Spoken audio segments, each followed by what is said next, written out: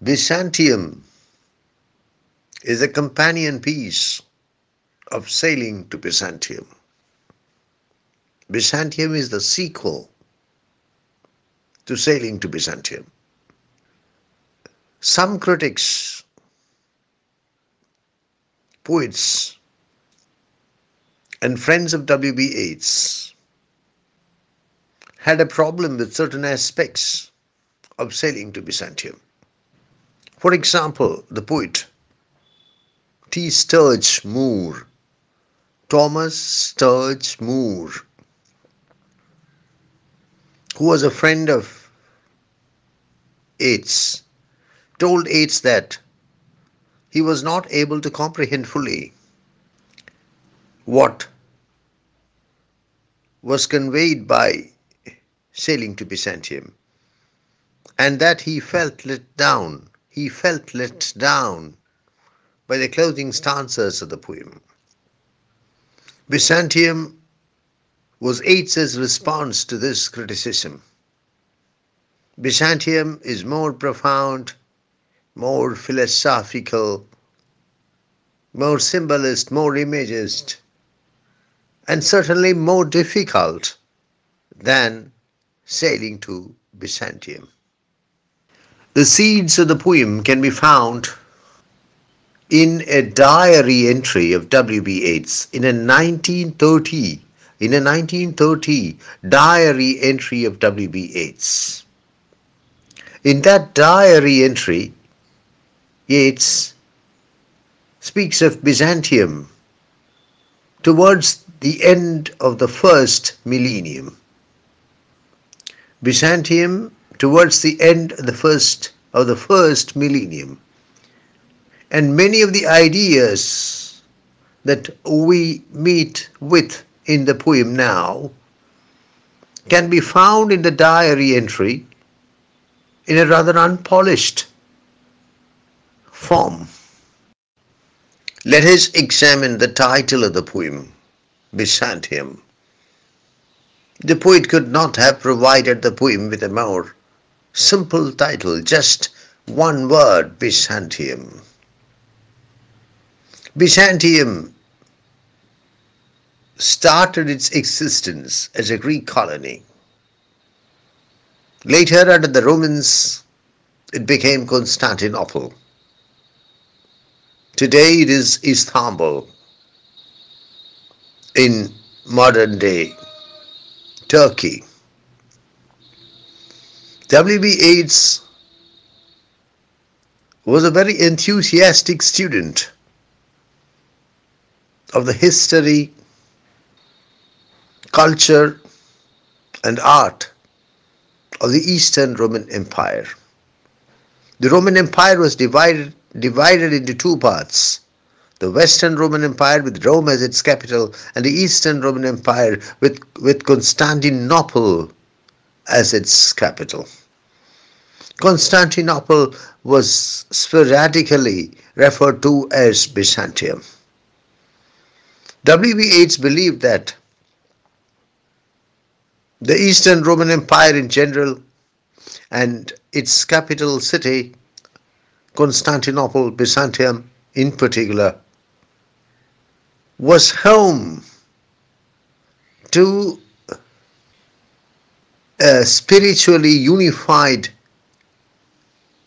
society. A society which dedicated itself to creating fabulous monuments, proclaiming, proclaiming the magnificence of the soul. In fact, around the 10th century, there was what is known as the Byzantine Renaissance. And fabulous, fantastic works of art and architecture were created by the artists, the architects of Byzantium. These works of art, these works of architecture, fascinated W.B. Yeats and threw him under a spell. He felt that it was in Byzantium, towards the end of the first millennium that he would be, that his soul would be most comfortable, most at peace. Why Byzantium? This is a question I want my students to ask. Why Byzantium? This is a question which I want my students to ask if they have to discuss the title of the poem. Was it a random choice? Why Byzantium and why not some other city? Why not Rome, for example? Why not Athens, for example? Was it a random choice? It was not. W.B. Yeats was a profound scholar. He was an avid student of the history of the Eastern Roman Empire, the history, the civilization, the culture, the architecture, the art of the Eastern Roman Empire. And it was after much cogitation, after much cogitation, after much internal deliberation, that the poet chose Byzantium. Byzantium is for Yeats the city of perfection, the city of salvation. Because instead of instead of the the obsession, the obsession with the body that the poet found around himself, he finds in Byzantium an obsession with the mind, an obsession with the soul. It is a fact that Byzantine civilization attained amazing heights, conquered remarkable peaks in art, in architecture. Take, for example, the Hagia Sophia, the greatest church of the Eastern Roman Empire, the greatest monument of the Eastern Orthodox Church. Incidentally, Hagia Sophia means holy wisdom, the church of holy wisdom. Today, Hagia Sophia is a mosque, and today, Byzantium is not Byzantium, not even Constantinople, it is Istanbul. But such things are irrelevant. It is a fact that under emperors such as Justinian the Great, Byzantine art and architecture scaled remarkable heights. As I said, the Hagia Sophia is an architectural marvel. The Byzantine goldsmiths, the Byzantine craftsmen created remarkable jewelry.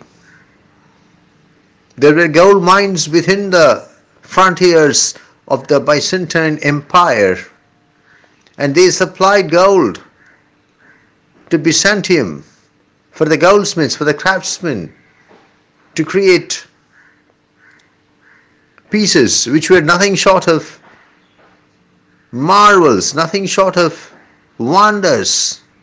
Even today, you have the term Byzantine jewelry,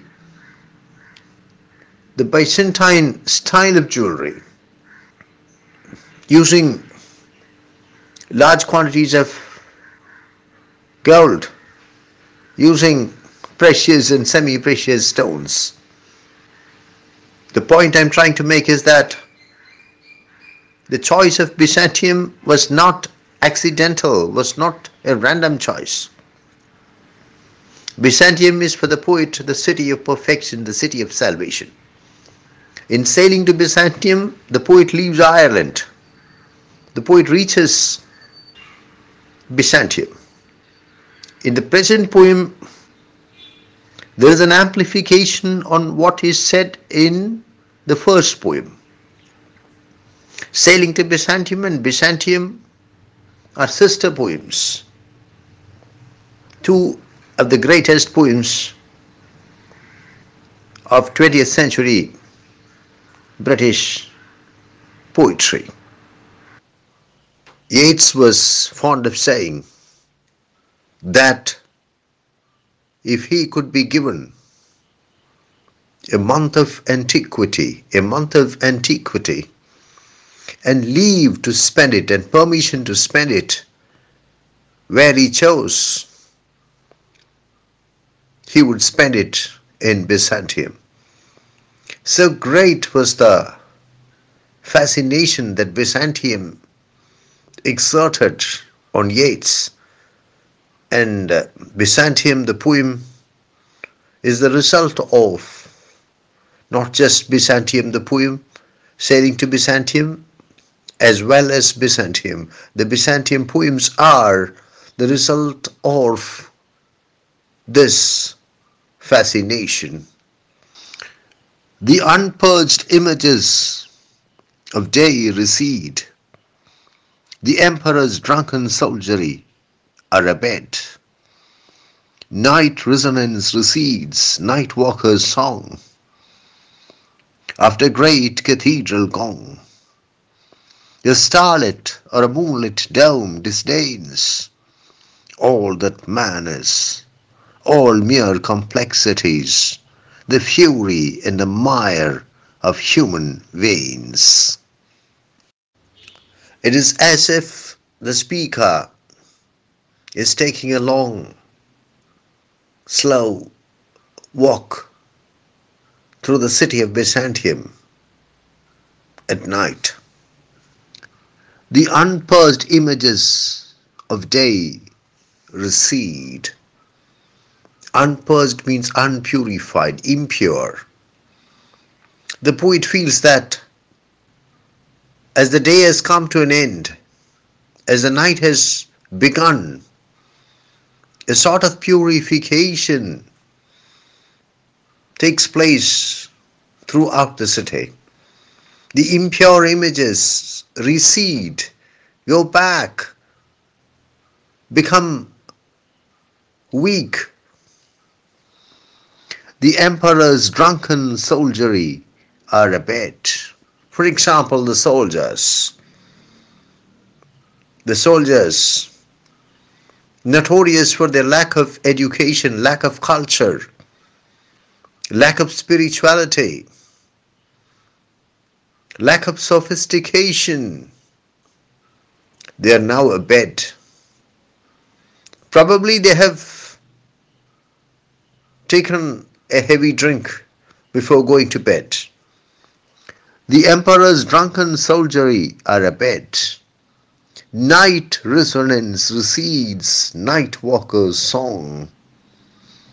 Even the sounds of the night have started receding.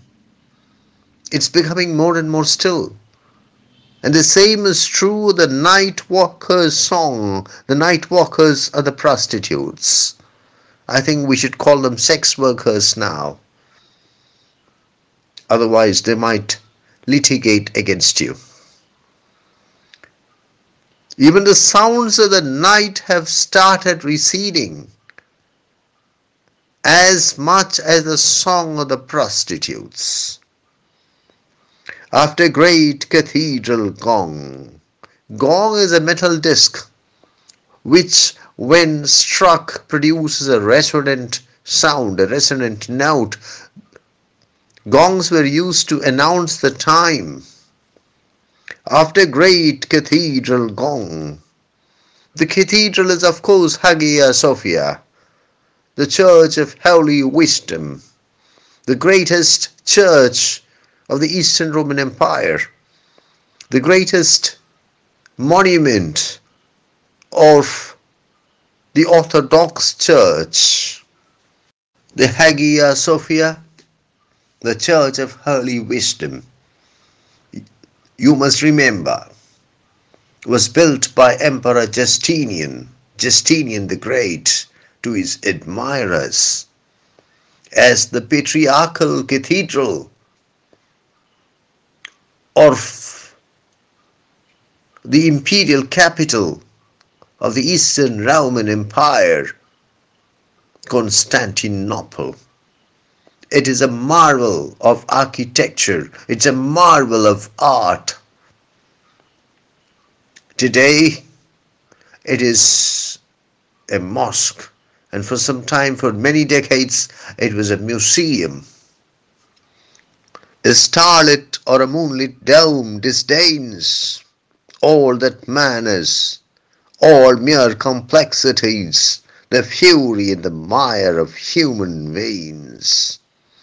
A starlit or a moonlit dome disdains. This is, of course, the dome of the Hagia Sophia. All that man is. The dome seems to have nothing but contempt for everything human, all that man is, all mere complexities. And what is man? Nothing but a bundle of complexities the fury and the mire of the human veins. Ultimately, that is what we are, that is what our bodies are. The fury, the anger, the emotion, the negative thinking, and the, and the mire. Mire is wet, sticky earth but here it's used in a figurative sense to mean something un, something unpleasant, something complicated, something from which you try to escape but from which you cannot escape. Something undesirable, something dirty. The fury and the mire of the human veins. The contrast here is only an amplification of the contrast met with in sailing to Byzantium. In sailing to Byzantium, the contrast is between Ireland and Byzantium, between youth and age, between body and spirit. Here the poet says that the dome of the Hagia Sophia, the dome of the Church of Holy Wisdom, has nothing but contempt for what is human, for the bodies of human beings, for the essence of human beings. Ultimately, human beings are nothing but negative thoughts and dirty emotions, dirty passions. It is this that is described in the last line of the stanza as the fury and the mire of the human veins. Can there be a greater contrast than the contrast between the negative thinking and the dirty passions that form the essence of the human being and the grand dome of the Hagia Sophia, the grand dome symbolizing holy wisdom, the grand dome symbolizing spiritual achievement, the grand dome symbolizing eternity and immortality. The dome is called the king of roofs in architecture. The king of roofs. It is looked upon as the greatest and the grandest roof. And the dome is a powerful symbol in literature, in mythology, in history, in culture. The dome symbolizes, among other things, the vault of heaven, the path to heaven. If there can be a heaven on earth, it is the dome. And you must remember that the dome is capable of, of enclosing a huge space, an enormous space, without any corner, without any angle, without the support of any column. It is very significant that the poet does not try even slightly to gloss over the sordid realities of the city of Byzantium. On the other hand,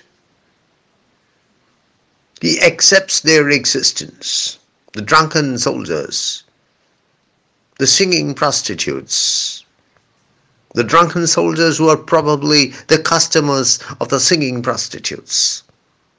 The poet's point is that the culture of Byzantium, the civilization of Byzantium, constantly attempts to go far, far beyond and constantly succeeds in going far beyond these sordid realities.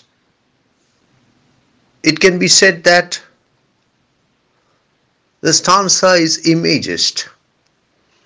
A few powerful images are presented in order to convey what the stanza wants to convey.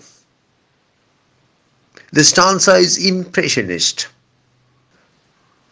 A few impressions of the speaker are shared by the speaker with the reader, leaving the reader to reconstruct or to construct the rest of the picture.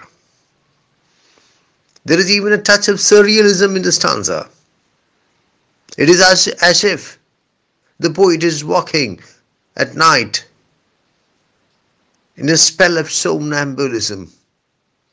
It is as if the poet is sleepwalking through the through the city of Byzantium at night. The stanza is more painting than poetry.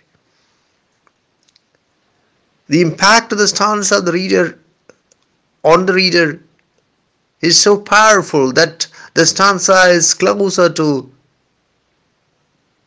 the visual arts than to the literary arts. The stanza is more painting than poetry, and you must remember that W.B. Yeats was the son of a painter, and that the Yeats family was highly artistic on the whole, and that Yeats himself, the poet himself, dabbled in painting in his youth, in his early years. If this is poetry, this is certainly the poetry of a painter. There is the 1914 nightscape. I think it's oil on canvas. Istanbul at night by the Russian impressionist painter Pavel Benkov. I don't know whether I'm going too far when I suggest that it's quite possible that W.B. Yeats was exposed to works of art depicting Byzantium, Constantinople, Istanbul at night, such as Pavel Benkov's masterpiece, Istanbul at Night, and that he was inspired to write the lines under consideration by the impact of the painting on him. In fact, Istanbul, Constantinople, exerted a powerful cap, a powerful fascination on many artists down the centuries. And uh, the result of their being captivated by the history, culture, civilization of Byzantium, Constantinople, Istanbul was the production of masterpieces which W.B. Yeats as a keen student of art, especially especially painting, a keen student of painting, could have accessed, be that as it may, There is no doubt that the opening stanza of Byzantium is closer to the to the fine art of painting than to the to the art of poetry which it actually represents. Before we move to the second stanza, I would like to tell you that Byzantium is a rather difficult poem and that there is no one interpretation, no one reading of the poem which is acceptable to all. In fact, with some exaggeration, it can be said that no two critics can agree wholly on what the poem tries to convey. All that we can do is to analyze, evaluate, and interpret the poem to the best of our ability and to try to present a reading which is justifiable, which is, convin- which is convincing, which can be supported by evidence, which can be supported by arguments. So please don't worry if there is some part of the poem or some passage in the poem or some line or some word in the poem which you feel you're not able to comprehend fully. Let me read the second stanza. Before me floats an image, man or shade, shade more than man, more image than a shade. For Hades bobbin, bound in mummy cloth, may unwind the winding path. A mouth that has no moisture and no breath. Breathless mouths may summon. I hail the superhuman. I call it death in life and life in death. The speaker goes for a walk through Byzantium, maybe 10th century Byzantium. He goes for a walk not merely through the streets of Byzantium, but also through the streets of his imagination. And what does he come across in the streets of Byzantium? Before me floats an image, man or shade. He comes across an image. He comes across something, he's not sure. It could be an image, it could be a man, it could be a shade. Image means representation. Image can mean statue, image can mean picture. Man, the thing that he comes across could be a real human being. Shade, spirit. Before me floats an image, man or shade. Shade more than man, more image than shade. Shade more than man. The speaker investigates. He discovers that the thing is not a human being, the thing is not a man. Shade more than man. The thing is more a spirit than a shade more image than a shade. Not even a shade, it's an image, it's a representation. It's all very vague, it's all very confusing. The speaker is not sure.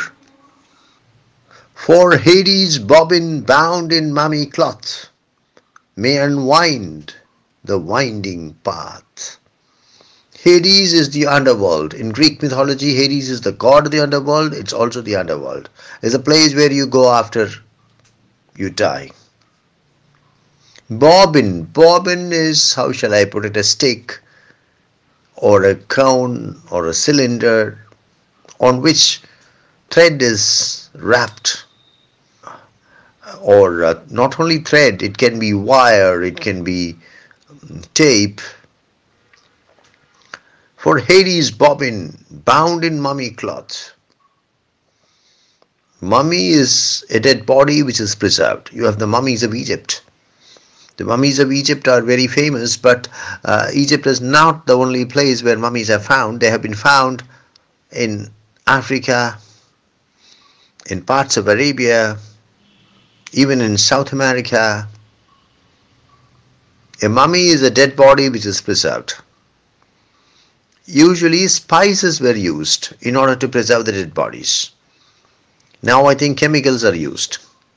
And the mummies were treated with spices after certain organs were removed and they were bound in cloth. That is what the poet means when he speaks of mummy cloth.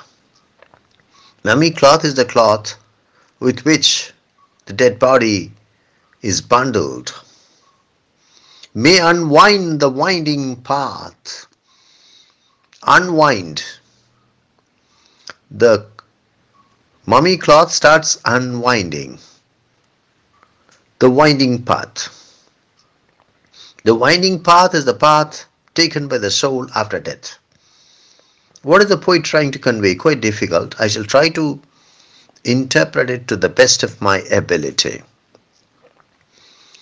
Almost all religions agree that your actions in the present life decide your life after death. What you do before death decides what happens to you after death. That is what these lines convey. There is an unraveling of your life. Bound in mummy cloth may unwind the winding path. As your soul travels along the winding path after death, there is an unraveling. And what you did before your death comes back to you after your death. This is the law that is followed in Hades, in the underworld.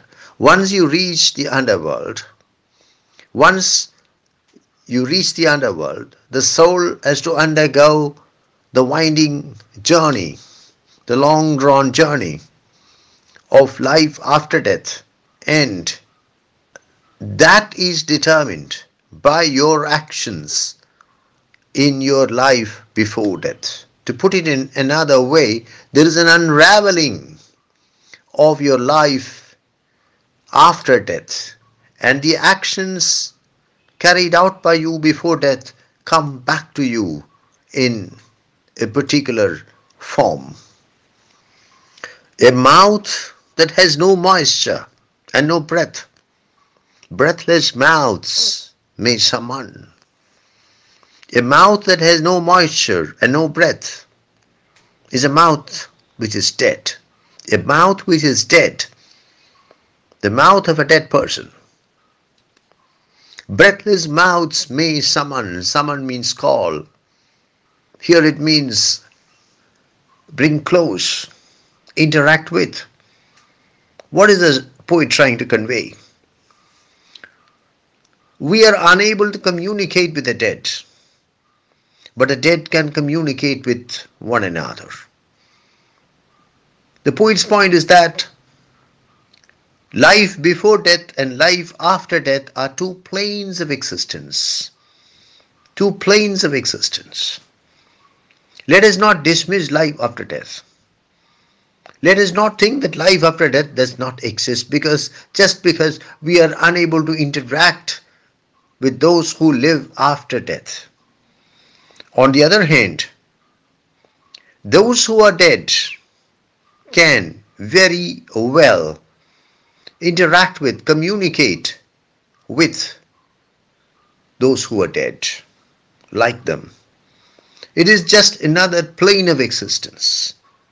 Life before death and life after death are two differing planes, dimensions of existence.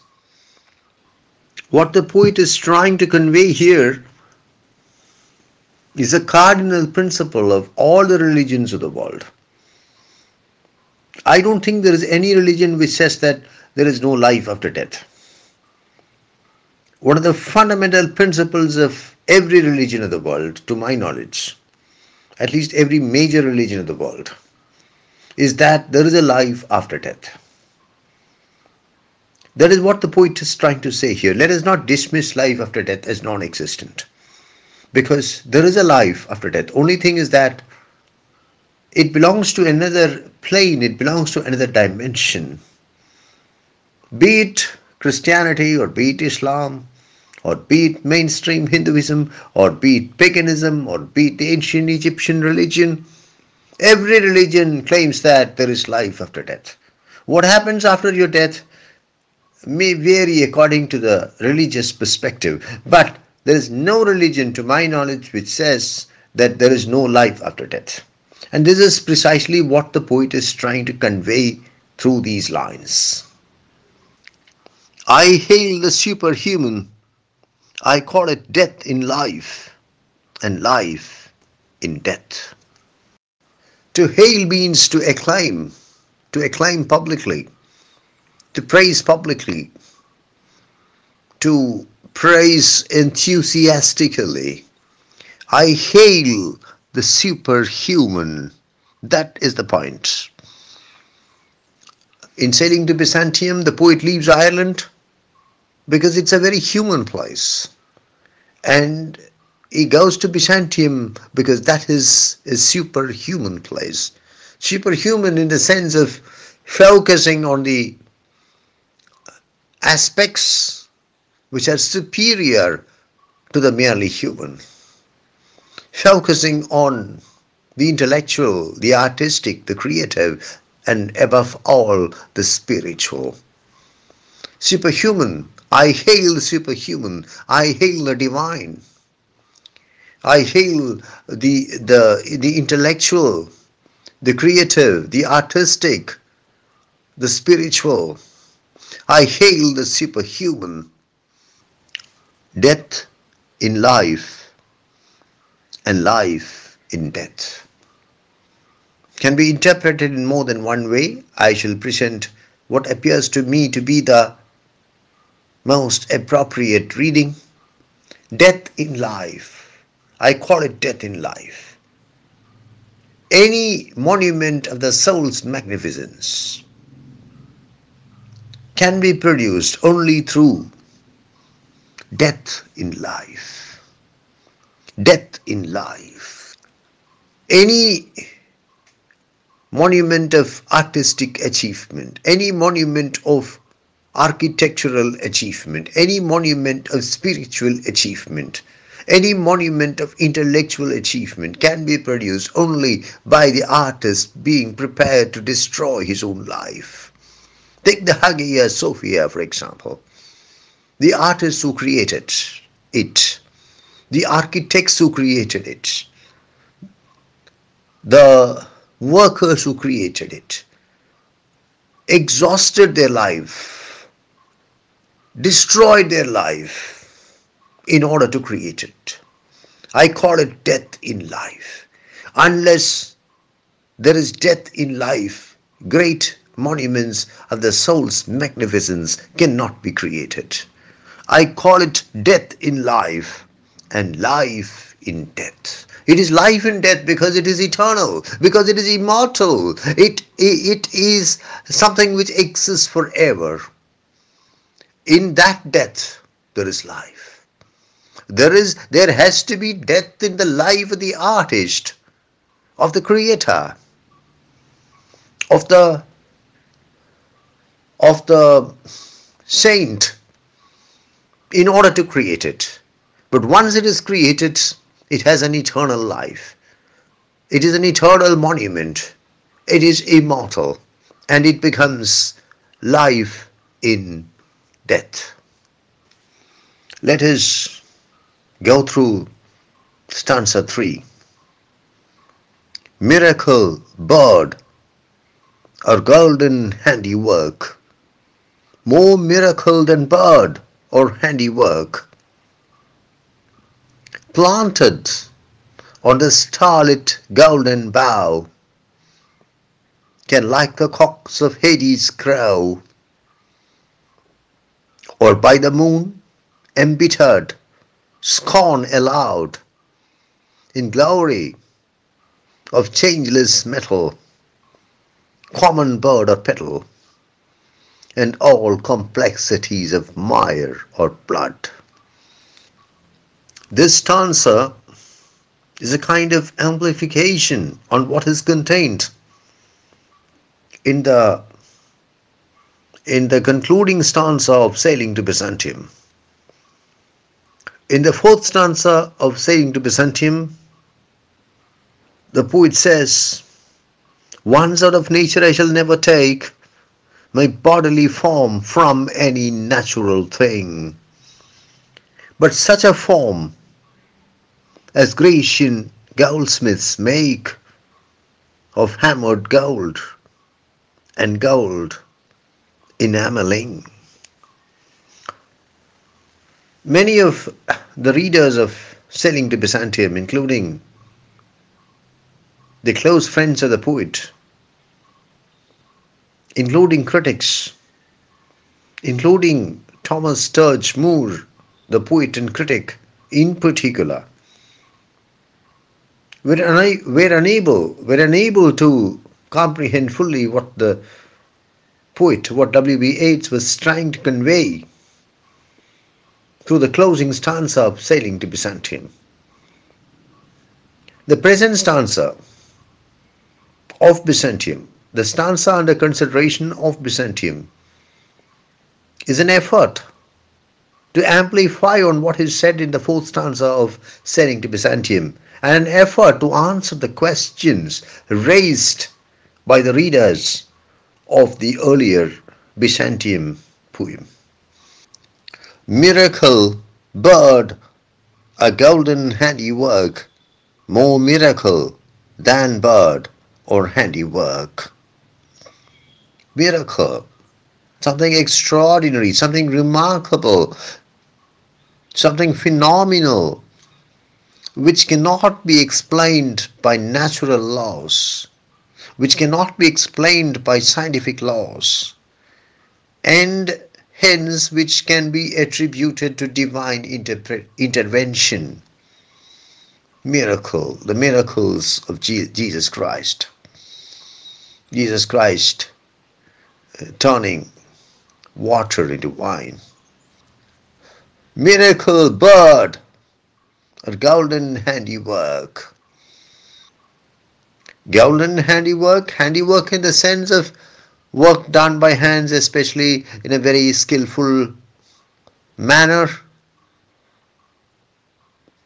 A work of art created by the hands. Miracle bird or golden handiwork. More miracle than bird or handiwork. That is it. From the poet's point of view, the golden bird is of course a bird, is of course a handiwork, is a, is a work of art crafted by the hands, but above everything else, it's a miracle. I don't know whether you get the point that the poet is trying to make. The golden bird is, of course, a bird. And what is a bird? A bird is a creature feather, with feathers which typically flies. Birds lay eggs. Birds are creatures with feathers that lay eggs and which typically fly because there are birds which don't fly. The golden bird is a bird. It is a work of art. It's a work of art lovingly crafted by the hands. It's a handiwork. But according to the poet, above all, above everything else, it's a miracle. Why is it a miracle? That is explained by the lines that follow. Planted on the starlit golden bough, can like the cocks of Hades crow. it is a recorded fact that in the palace of the Byzantine emperor, there was a golden tree on which mechanical birds made of gold perched, and that the birds could be made to flutter and to sing. In fact, the opulence of the court of the Byzantine emperors has few parallels in history. Can like the cocks of Hades crow. Why cocks of Hades? In Greek mythology, there were, there were cocks in Hades in the underworld. And the crowing of the cocks of Hades signaled the ending of one life and the beginning of another. The conclusion of life before death and the dawn of a new life, the dawn of a new life, the beginning of life after death. The poet's point is that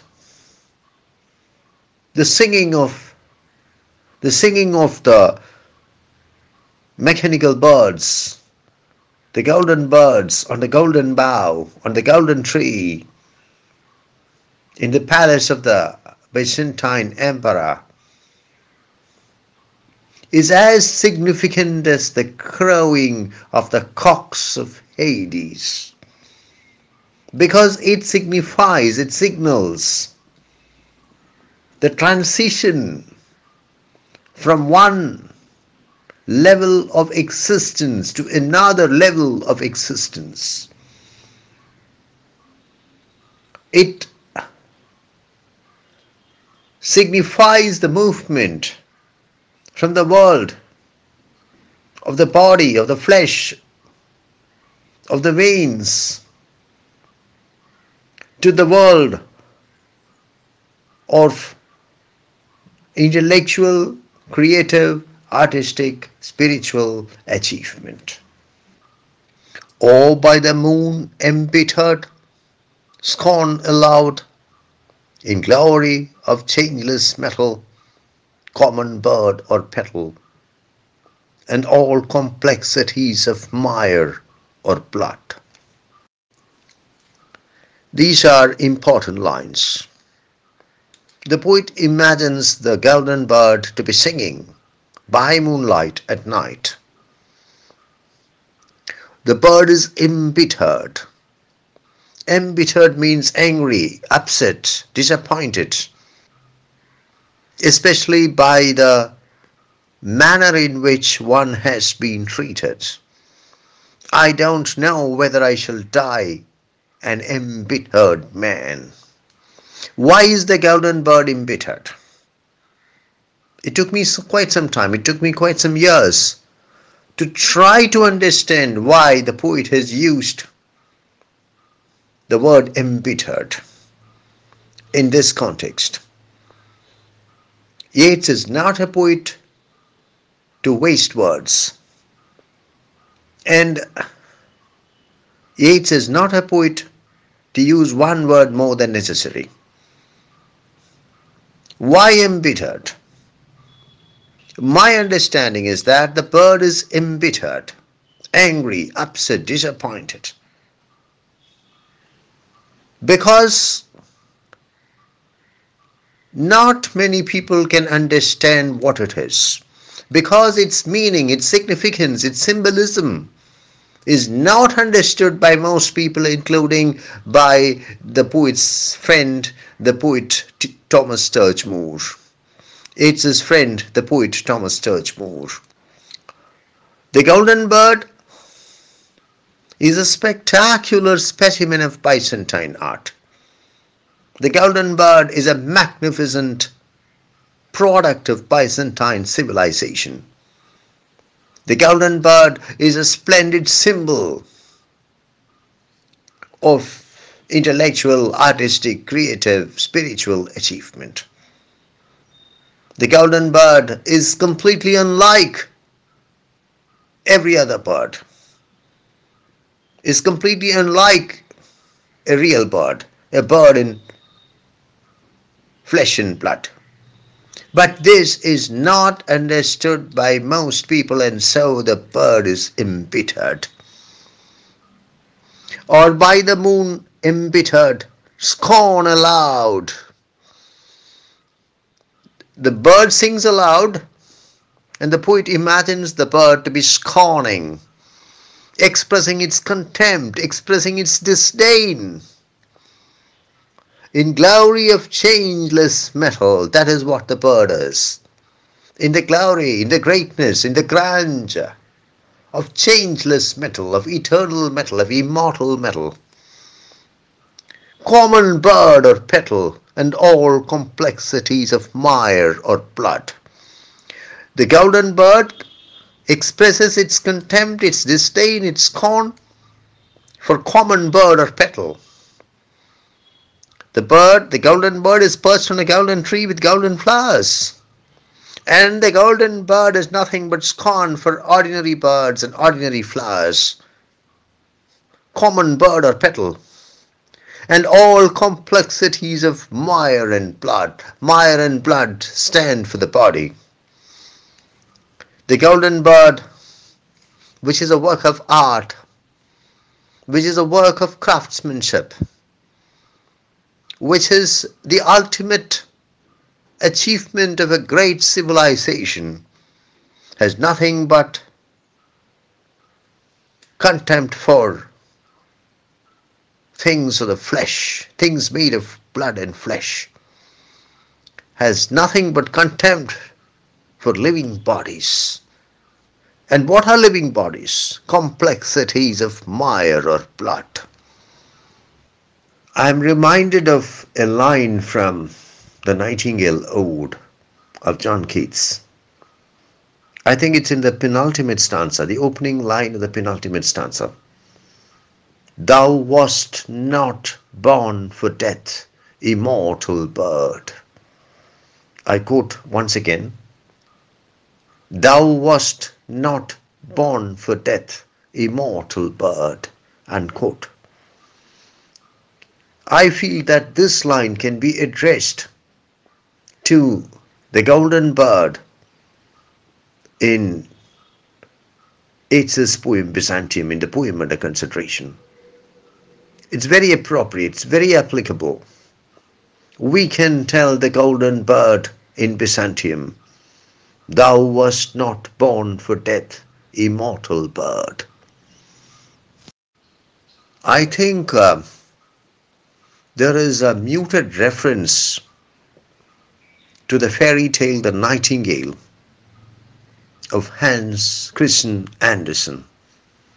The plot of the fairy tale is somewhat different from what is said in this stanza, but still we can say that very probably, very probably W.B. Yeats was influenced by Hans Christian Andersen's story, The Nightingale, influenced by the fairy tale of the Nightingale. We have now reached the penultimate stanza at midnight on the emperor's pavement flicked flames that no faggot feeds, nor steel has lit, nor storm disturbs. Flames begotten of flame, where blood begotten spirits come, and all complexities of fury leave, dying into a dance, an agony of trance an agony of flame that cannot singe its sleeve. We now come to the penultimate stanza. It's a rather difficult stanza, but we shall try to explain it as best as we can. From the emperor's palace with its golden tree, on whose golden bough is perched a mechanical bird made of gold, from the emperor's palace with its golden tree and its golden bird, we now come to the emperor's pavement, and it is night. In fact, it is midnight. Midnight is said to be the best time, the most appropriate time for black magic, for ghosts to emerge. You have uh, the ghost in Shakespeare's Hamlet appearing at midnight in the famous ghost scene. And uh, it is midnight. And what do we find on the emperor's pavement? Pavement is the raised path on the side of the road for the use of pedestrians. I think another word is sidewalk. At midnight, the emperor's pavement, or on the emperor's pavement, flit. Flit means move quickly, move quickly, move swiftly, move lightly. Flames that no faggot feeds nor steel has lit. We find on the pavement of the emperor flames. But these are unusual flames. They are not physical flames. They are metaphysical flames. They are not fed by faggots. Faggots are bundles of firewood. They don't need firewood. They don't, they don't need fuel to sustain themselves. Nor steel has lit. In the past, steel was used to generate sparks, which in turn would be used to generate fire, to start a fire.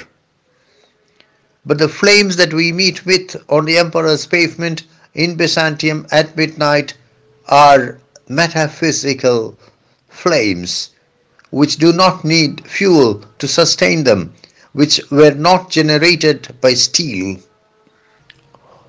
We must remember that we come across the flames at midnight. And midnight is the best time, the most appropriate time for black magic, for ghosts to emerge, for uh, spirits to walk about. I am reminded of the ghost in Shakespeare's Hamlet which if I remember correctly, I'm speaking offhand,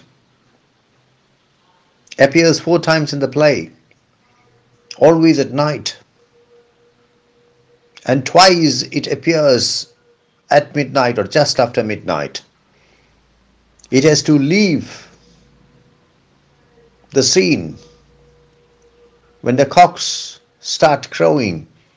That is, uh, by the uh, it has to leave the scene when night comes to an end. The flames that we meet with on the emperor's pavement in the present poem are rather peculiar flames. They are not disturbed by storms. Storms can put out ordinary physical flames, but not the flames that we meet with in the poem under discussion. Flames begotten of flame, flames born out of flames. That is, they are metaphysical flames, they are spiritual flames which exist on a realm of their own, which are generated from the kind of flame the kind of flames they are. They have very little in common with the physical flames, the real flames that we meet with in our world. Where blood begotten spirits come, and all complexities of fury leave, dying into a dance, an agony of trance, an agony of flame that cannot singe a sleeve. These lines describe the purification process that the souls undergo after death in order to take them, in order to be acceptable, to go to heaven, to go to paradise. I'm sure that the poet is here influenced by the Christian concept, especially the Catholic concept of the purgatory. Those who are damned, great sinners are damned. I think I'm going to be damned being a very great sinner myself. And I'm sure to go to hell. And I understand that on the gateway to hell it's written, all hope abandon, ye who enter here, all hope abandon. Ye who enter here, those who enter hell have to give up all hope because they are going to suffer eternal damnation. I very much look forward to that. I think it was Mark Twain who said, I like heaven for the climate. I like heaven for the climate and hell for the company. I agree that the climate of hell is rather unbearable because I have to endure hellfire but I am sure that I will I will have excellent company there those who are in heaven they are all very boring guys I am extremely sure that I will have marvelous company in hell. I'm getting distracted. What we should focus on here is the concept of purgatory. Those who sin, but those who are not great sinners, are sent to purgatory, where their souls are purified and they are prepared to enter heaven or enter paradise.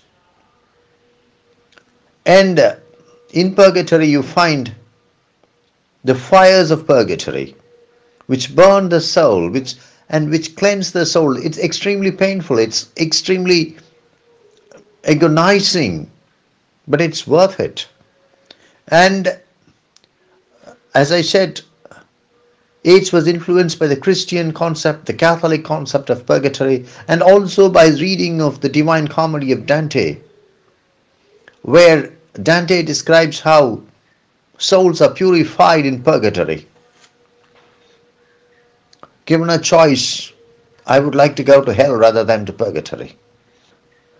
Where blood begotten spirits come, human souls, which had once been clothed in flesh and blood,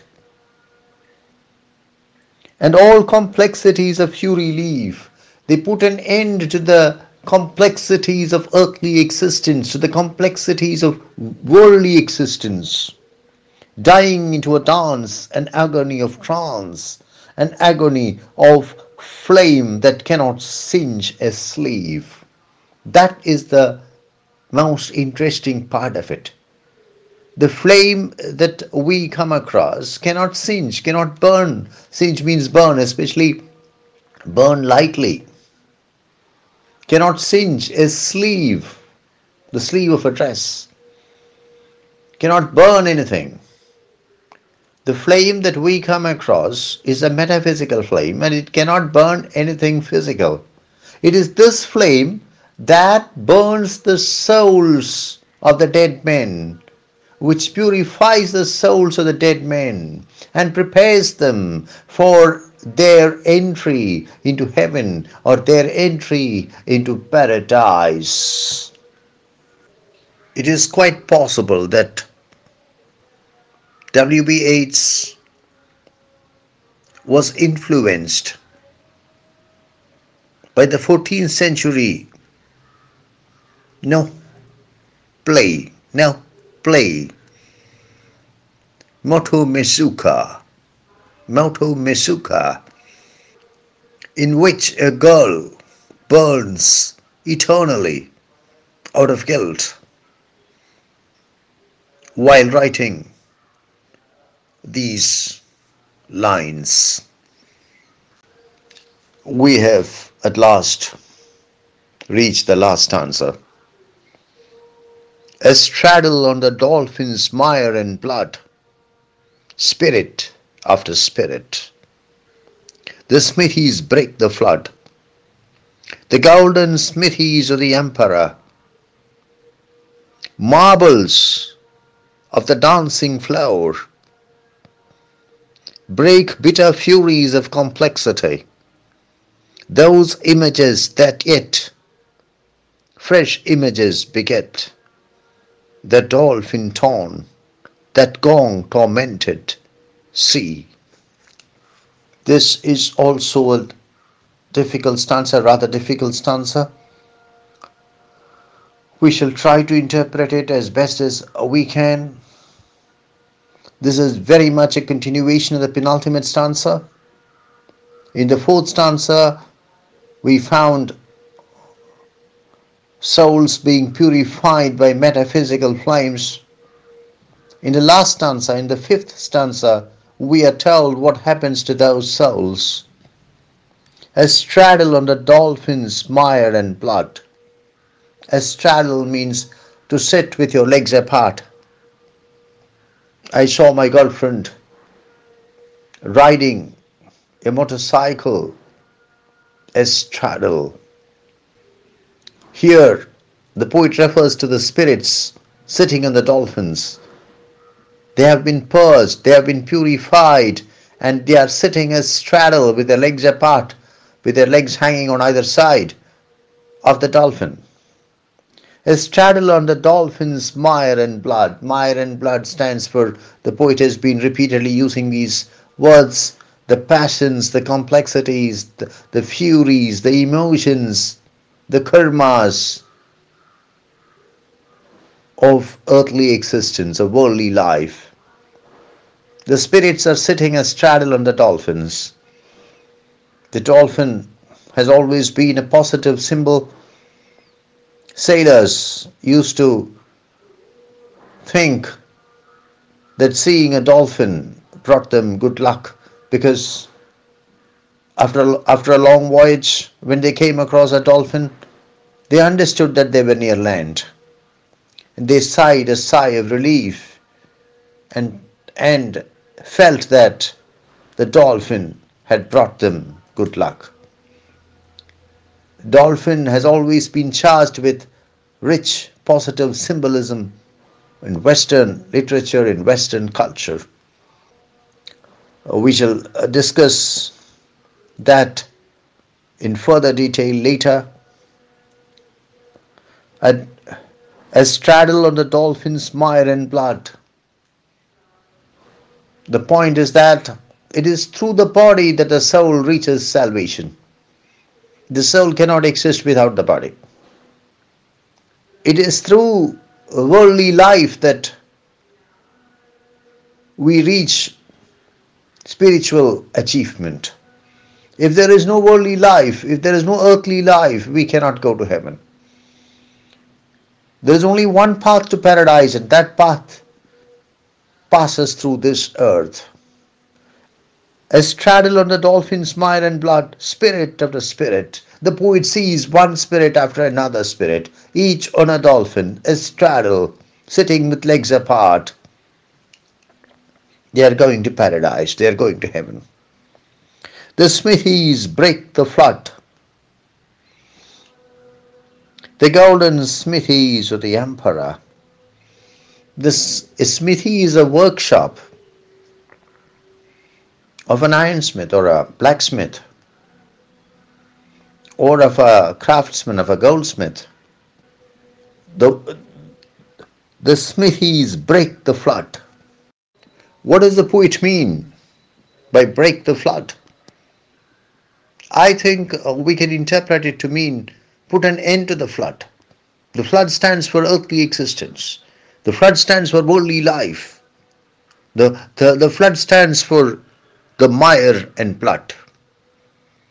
The smithies break the flood, the golden smithies of the emperor. Marbles of the dancing floor break bitter furies of complexity.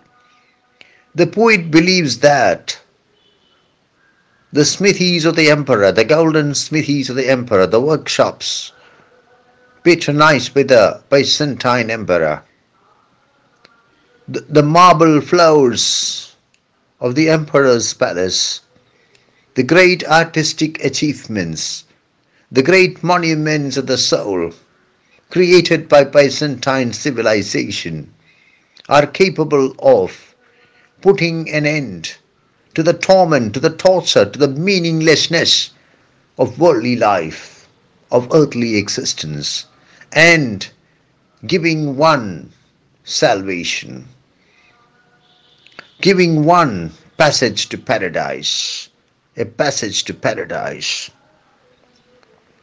The smithies break the flood, the golden smithies the emperor, marbles of the dancing floor, break bitter furies of complexity. That is what they do. The complexities of worldly life, the complexities of earthly existence are put an end to by the smithies of the emperor, by the golden, golden smithies of the emperor, by the uh, gold workshops of the goldsmiths, of the artisans, of the craftsmen patronized by the Byzantine emperor, of the marble floors of the emperor's palace, of the artistic and cultural achievements of the Byzantine civilization. Break bitter furies of complexity those images that yet fresh images beget.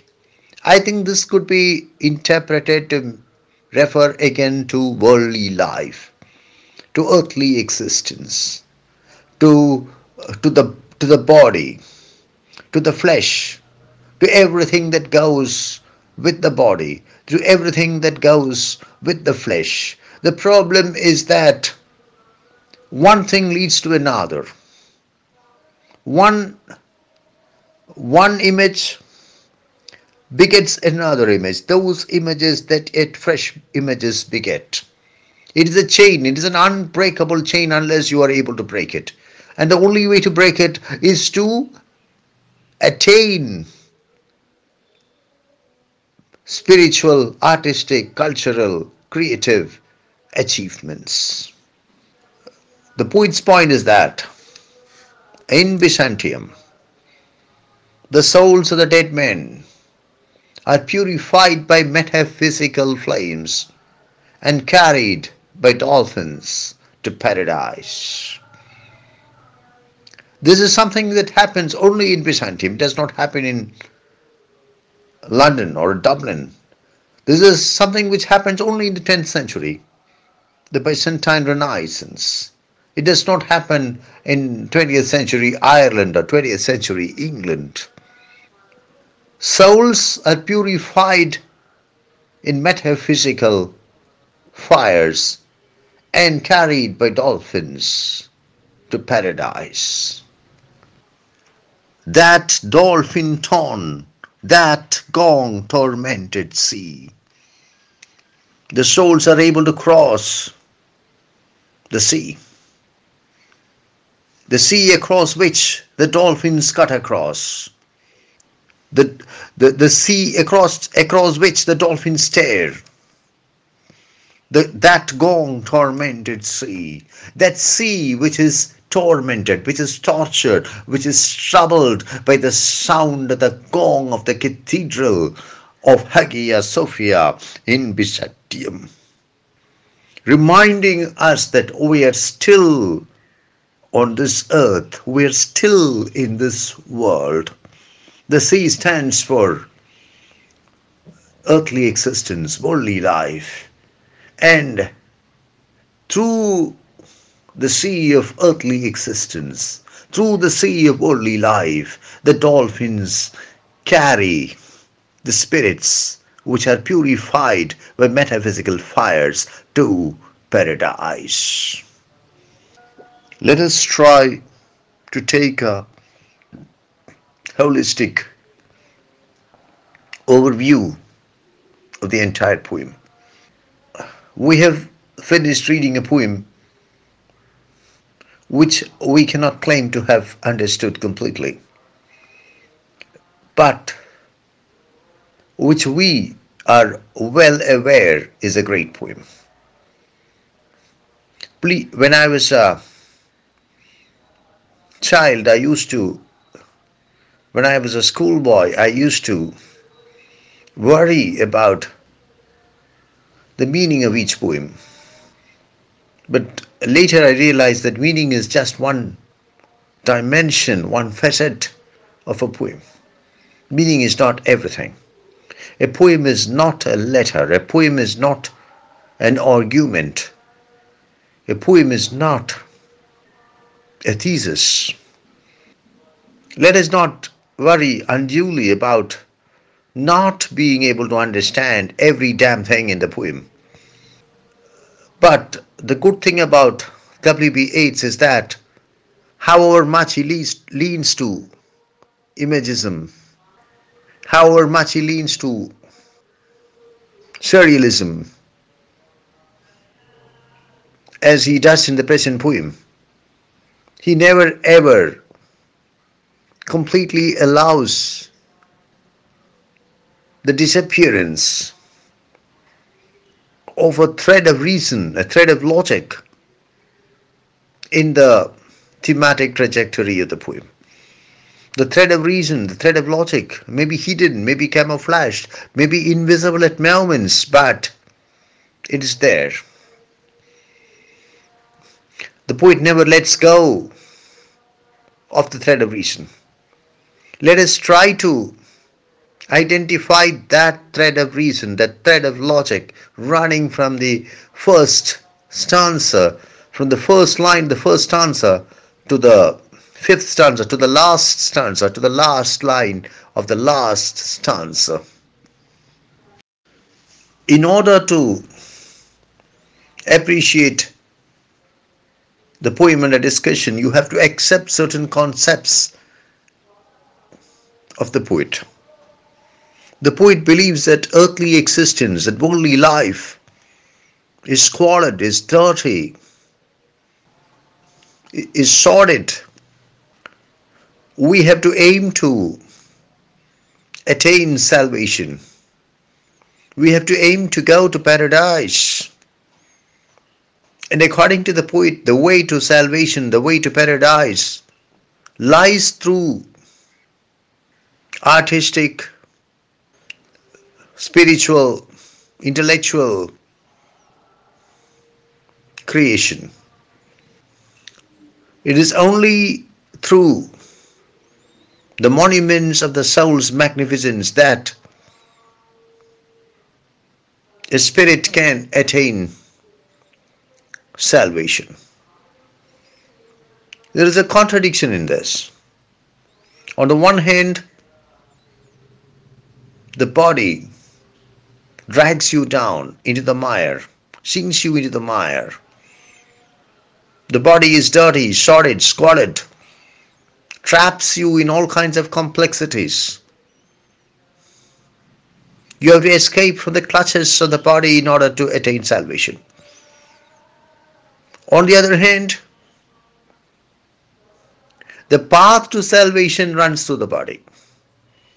Because the soul cannot exist on its own. There cannot be a soul without a body. What we have to do, according to the poet, is to ensure that we outgrow the body. We develop beyond the limitations of the body. We escape from the mire and blood. We overcome the complexities and we reach the pinnacles of intellectual, artistic, creative, spiritual achievements. Byzantium, this poem, tells the story of how the spirits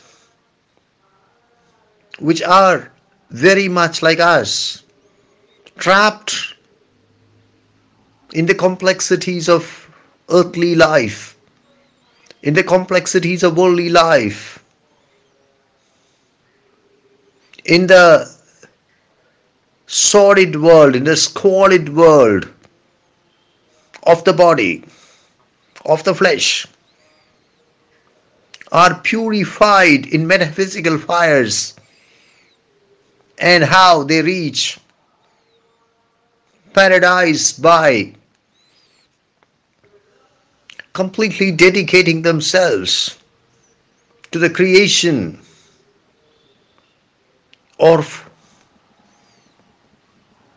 monuments of intellectual, artistic, creative, spiritual significance. I would like to point out that one of the fundamental strengths of the poem is that it is able to establish a very sustained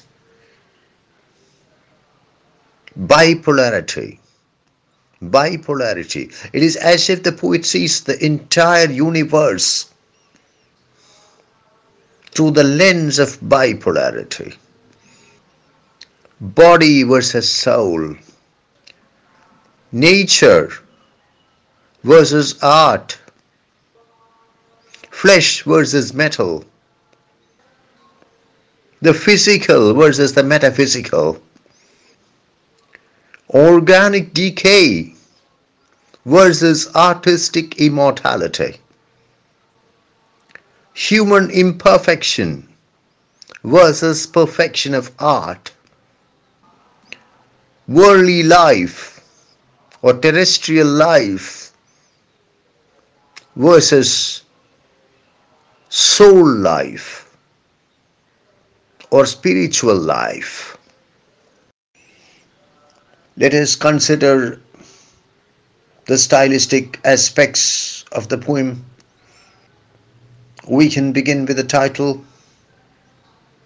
There is no doubt that the poem has a very appropriate title. It is just one word, it's a very short title, but a very appropriate title.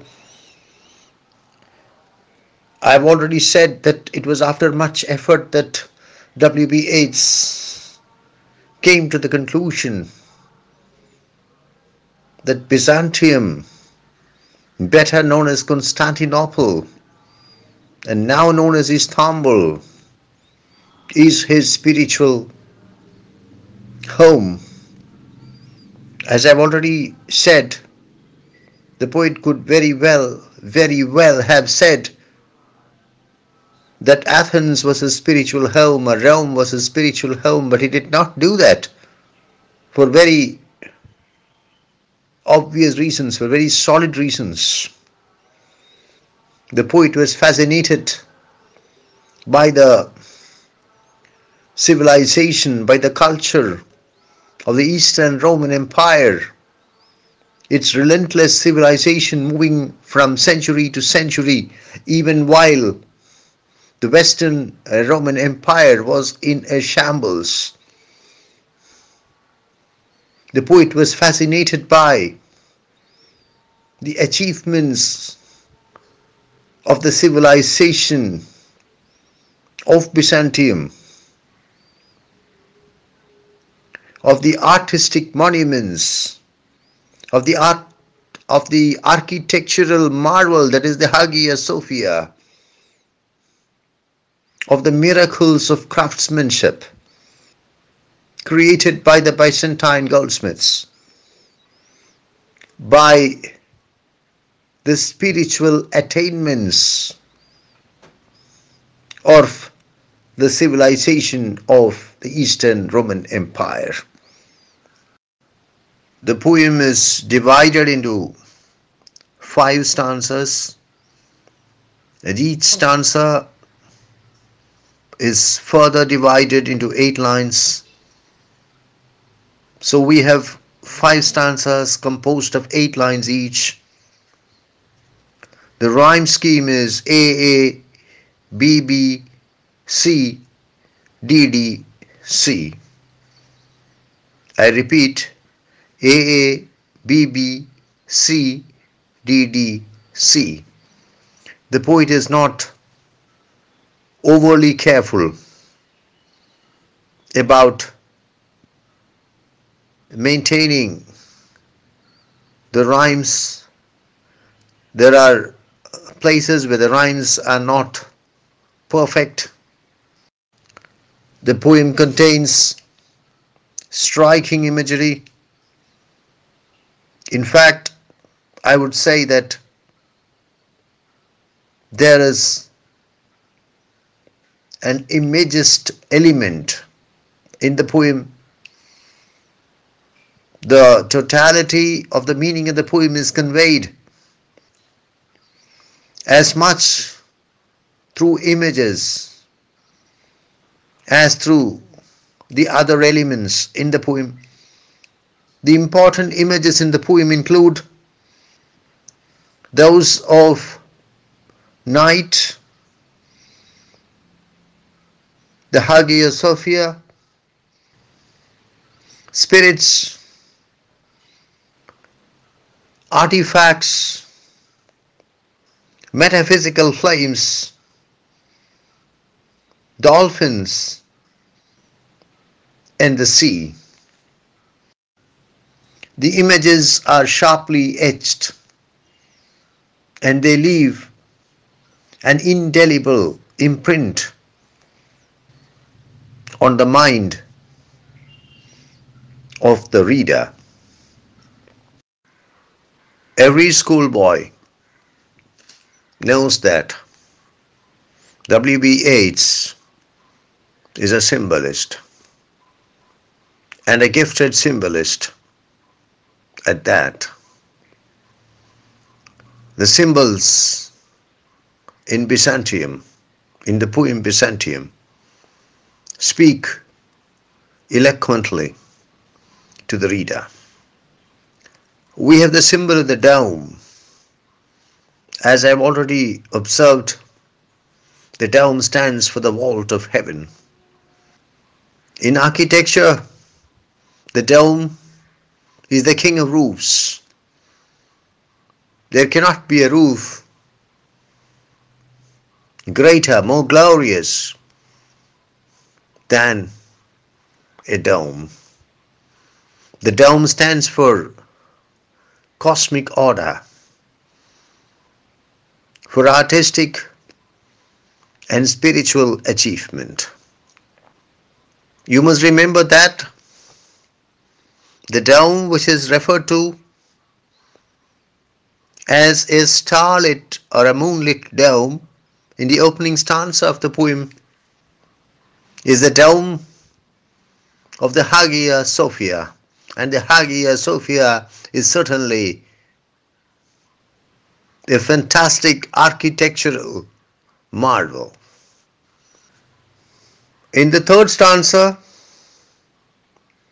we have the symbol of the bird. The bird is made of gold. The bird is a mechanical bird. The bird perches on a golden tree and sings like a real bird. We have met the bird already in the earlier Byzantium poem, in Sailing to Byzantium. The bird symbolizes art. The bird stands for artistic achievement. The bird symbolizes the ability of art to transcend time. In the third stanza, the poet speaks of the glory of changeless metal. That is what the poet has in mind. The eternity of art, the immortality of art, as opposed to the transience of life, of nature. In the fourth stanza of the poem, we have the flames. The flames are not real flames. They are not fed by faggots. They are not generated by steel. On the other hand, they are metaphysical flames. They symbolize illumination. They symbolize purification. They remind us of the flames in purgatory,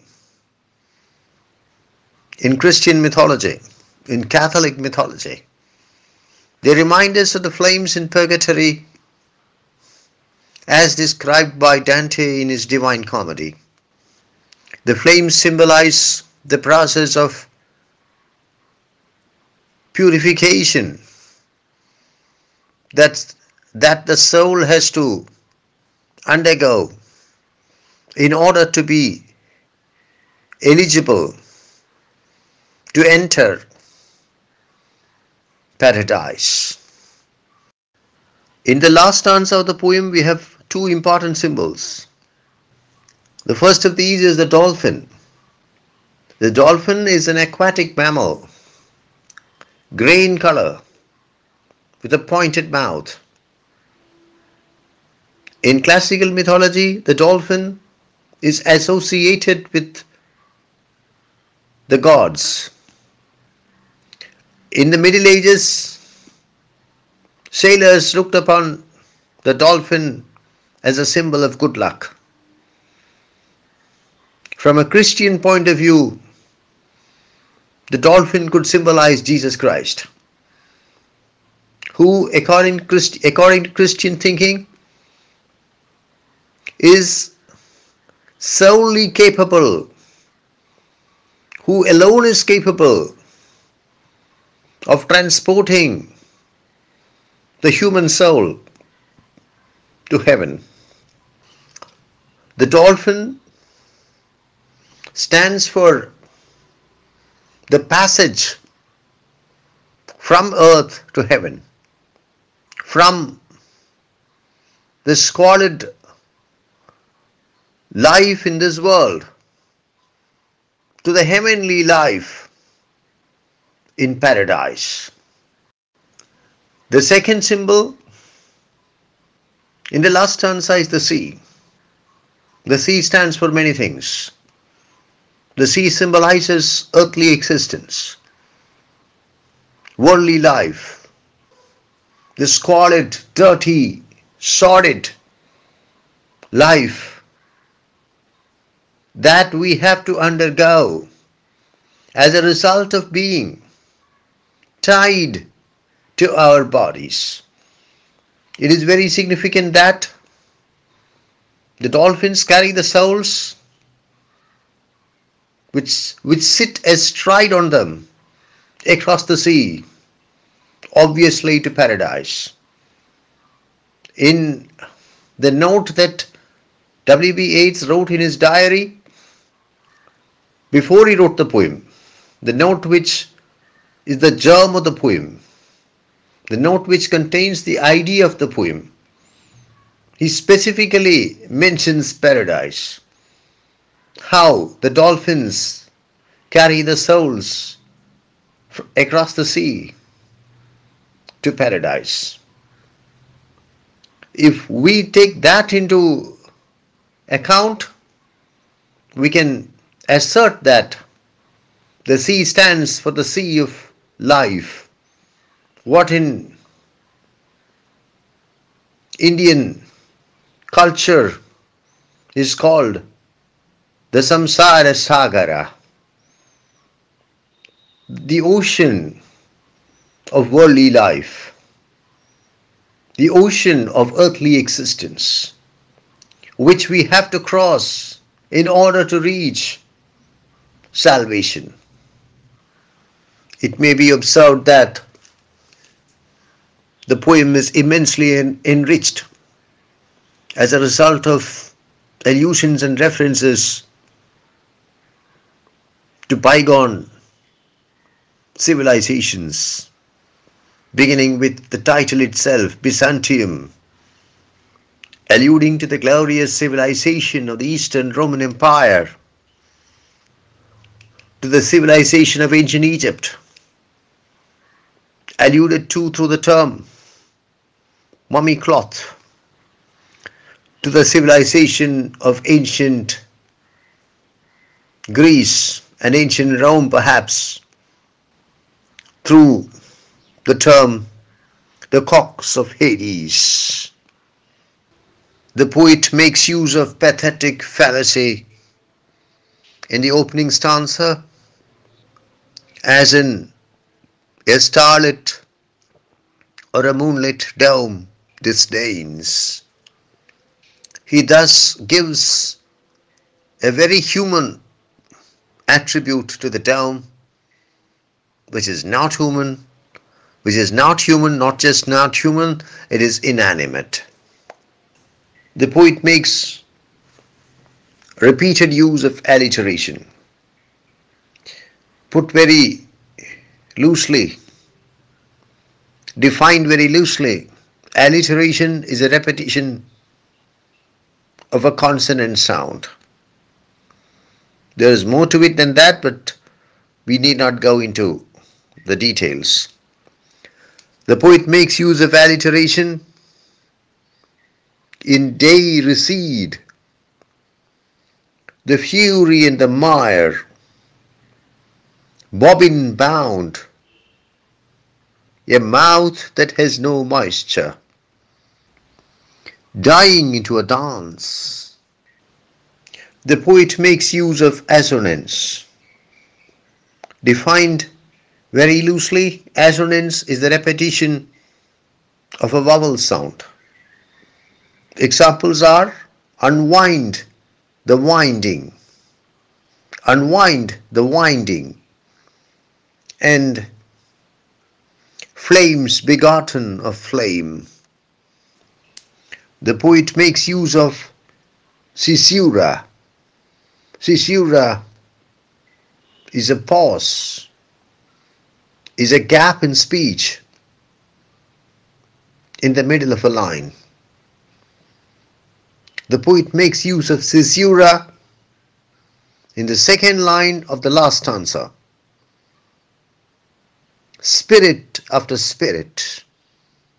The smithies break the flood. Enjambment is the movement of meaning and momentum from one line to the next line without any break. In the poem under discussion, the poet repeatedly makes use of enjambment. I shall give a couple of examples. In the opening stanza,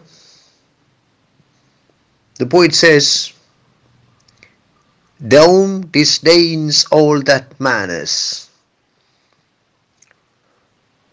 Dome disdains all that. There is no pause after disdains. Typically, in enjambment, there is no punctuation. There is no punctuation at the end of the first line under consideration. And the reader is carried swiftly and surely from the first line under consideration to the next line. In the third stanza, we have scorn aloud in glory of changeless metal. Scorn aloud in glory. There is no pause after aloud. There is no punctuation after aloud. Scorn aloud in glory of changeless metal. Similarly, we have the opening line and the second line of the penultimate stanza. The emperor's pavement flit flames that no faggot feeds. What flit? flames flit. So there is no pause, there is no punctuation, there is no gap, there is no break after flit. The emperor's pavement flit, flames that no faggot feeds. The meter of Byzantium, the meter used in Byzantium is iambic pentameter. Pentameter means every line has five feet. Penta means five. Iamb means that every foot consists of two syllables. The first syllable is a short syllable. The second syllable is a long syllable. The first syllable is an unstressed syllable.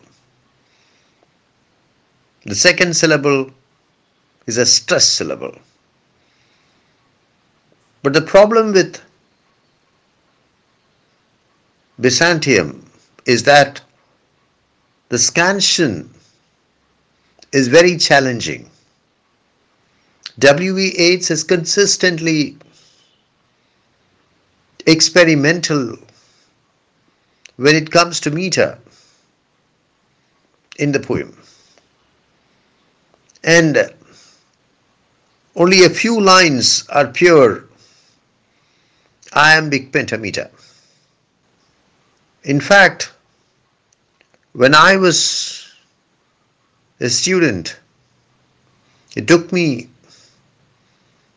several days of consistent effort. You must remember that our resources were very limited.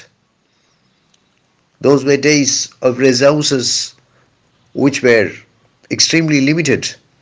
And it took me days, several days of consistent effort to work out the scansion of Byzantium of WBH.